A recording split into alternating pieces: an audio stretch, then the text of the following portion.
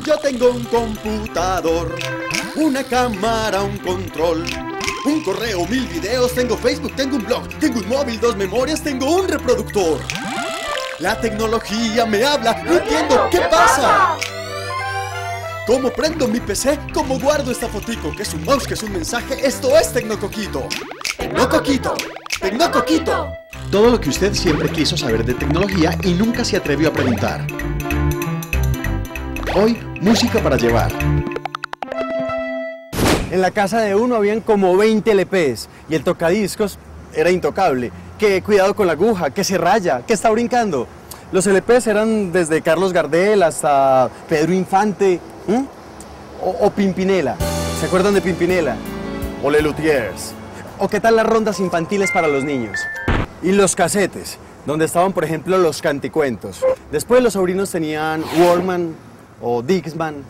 Ahora tienen MP3, MP4, iPod.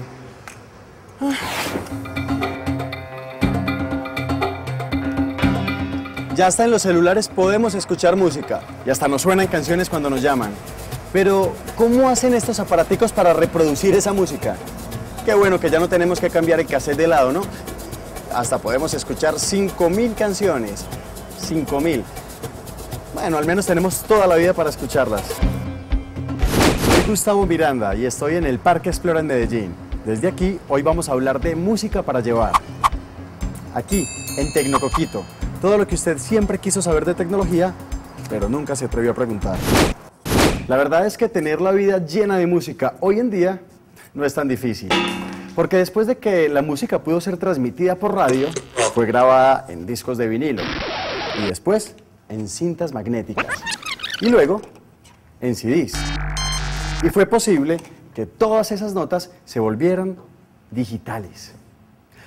Así pudieron ser conformadas por ceros y unos en archivos que pueden ser guardados, almacenados, modificados y transportados.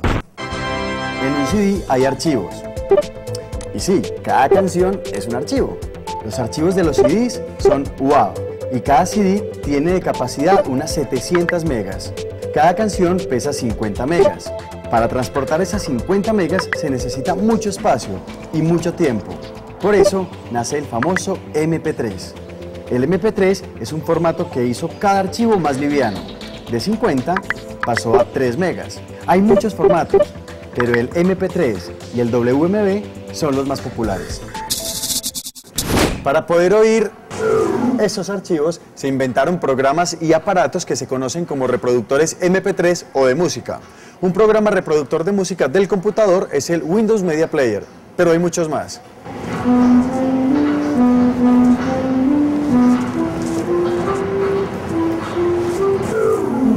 Hay unos reproductores pequeñitos que solamente reproducen música.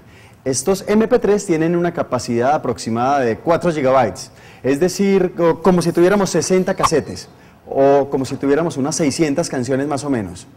Claro que también hay unos MP4 que además de reproducir música, reproducen fotos y videos, como este. Estos MP4 tienen una capacidad aproximada de 16 GB. Además, tienen también radio y una pantalla más grande para poder ver los videos y las canciones que van pasando. Mejor dicho, es como si tuviéramos una tienda de disco portátil, para uno solo por muchos días.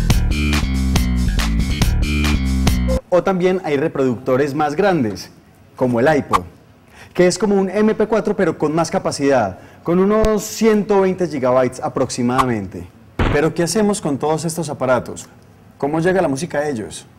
Muy fácil. Lo primero que vamos a hacer es poner la música del CD en el computador. Por ejemplo, si queremos escuchar Camilo VI. Recordemos que esta música es personal y que no puede ser distribuida. Entonces, le damos clic en la opción copiar y se abre el Windows Media Player. Y ahí le damos copiar disco. Lo que hace este programa es convertir cada canción de su formato original a un formato MP3 o WMB, que pesan menos. Ya con la música dentro del computador, lo que vamos a hacer es usar un cable USB, como este, para poder conectar el aparato y así bajar la música. Mm, no, en este caso vamos a usar este MP4. Así. Perfecto. Luego con la carpeta de la música copiada en el computador abierta, seleccionamos los archivos que queremos oír en nuestro reproductor. Cuando conectamos el reproductor en mi PC o en el equipo, nos aparece como un disco duro o con el nombre del reproductor. Así. Luego lo abrimos y buscamos la carpeta de música. Y listo, ahí podemos copiar la música. Existen muchos tipos de reproductores y hay algunos que tienen programas especiales para poder poner la música dentro de ellos. Pero no es tan difícil, funciona más o menos así. Usted debe conectarse, luego seleccionar la música y copiarla para que la pueda tener guardada y llevarla donde quiera. Recuerde siempre leer las instrucciones de los aparatos que le regalan los sobrinos o que usted mismo compra.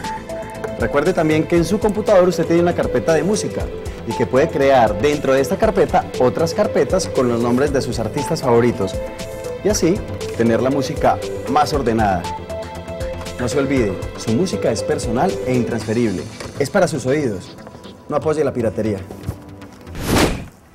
Y ya por fin tengo a Camilo VI en mi reproductor. Y con él algunos buenos boleros, electrónica, rock. Mejor dicho, tengo miles de canciones aquí, porque las puedo llevar a cualquier parte. Ahora mi música favorita siempre me acompaña. Y no es tan difícil, ¿verdad?